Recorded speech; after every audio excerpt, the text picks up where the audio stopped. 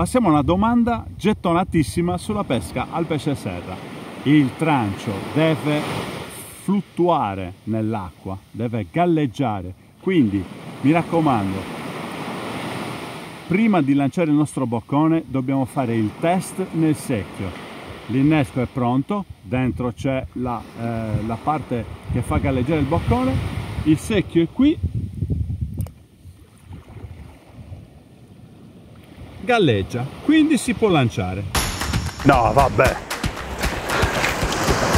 Ragazzi, mi ha piegato il mini trave. Piegato il mini trave. Qui ripulito. No, vabbè, io non riesco, non riesco a capacitarmi del mini trave